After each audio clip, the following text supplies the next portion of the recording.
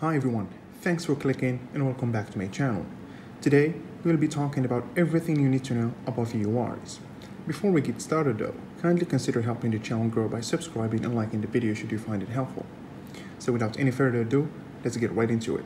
VOR stands for Very High Frequency Omnidirectional Range. The word omni means in all directions or 360 degrees.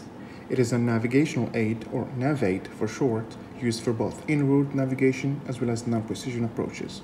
VORs operate in the VHF band frequency from 108 MHz to 117.95 MHz, both inclusive. And since it operates within the VHF band, VOR signals are strictly line of sight, meaning even if you are in close range of VOR and there is, for instance, a mountain between your aircraft and the VOR, you will not be able to receive the signal.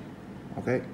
Each VOR is identified using a station name, a station three-letter code, and three letters Morse code, and a frequency. In order to use the VOR, you have to follow these three easy steps.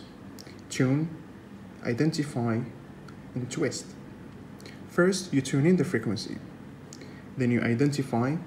If your aircraft is G1000 or G3000 equipped, the Garmin will automatically do it for you and will identify the station and will display the three-letter codes in green next to the frequency box.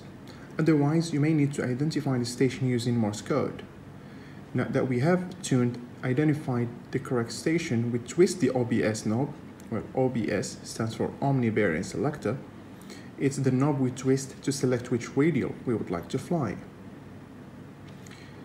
Also, I would like to clear up one misconception is that radial and the aircraft heading are not the same you might be on radial 090 and facing north, south, southwest, etc. As shown in front of you, all these aircraft are on the 090 radial. However, they are facing different directions. The aircraft onboard VOR equipment looks like this in the older model of analog gauges type of airplanes, such as Cessna 150, 172, 182, etc and other old trainers as well. However, as technology evolves, the modern aircraft employ glass cockpit avionics, and this is how the VOR indicator looks like on the G1000. Please keep in mind though that this is not actually a VOR, it's rather an HSI, horizontal situation indicator.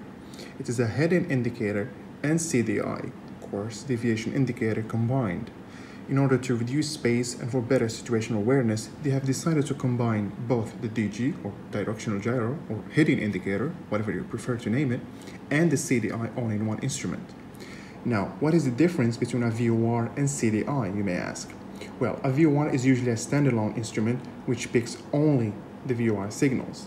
CDI or HSI, on the other hand, depending on the nav aid you tune in to, you may receive GPS information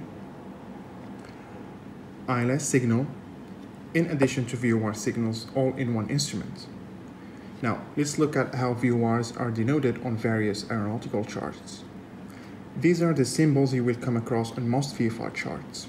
The first is the standalone VOR, meaning this VOR facility will provide you with only bearings, with other words, where you are in relation to the VOR and what radial you are on. It has no capability to broadcast your range from the facility or how far are you as it is not coupled or paired with DME.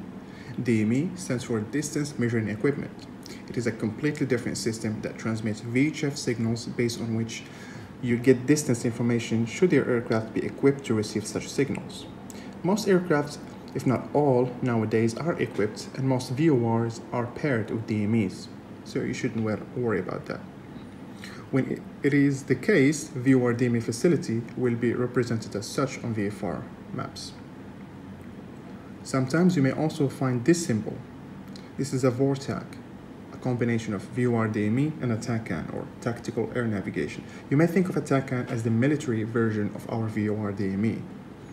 VORTAC normally have a frequency for civilian use and also some military aircraft, as well as a channel for sole use by the military, okay?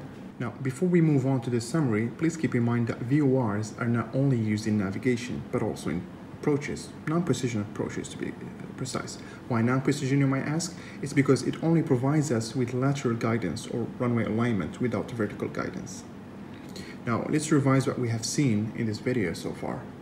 VOR stands for Very High Frequency Omnidirectional Range. It is a NAVAID facility on the ground used for both air navigation and non-precision approaches. It operates in the VHF band from 108 MHz to 117.95 MHz inclusive. VOR signals are line of sight signals. These are the VOR symbols you may come across on both VFR maps and IFR charts. VOR will only provide range information if it's paired with DME, distance measuring equipments. Alright ladies and gentlemen, this brings us to the end of this video. If you have any questions or if you would like me to make a video about any topic that you might be struggling with, kindly go ahead and leave it in the comment section below and I'll be more than happy to do so.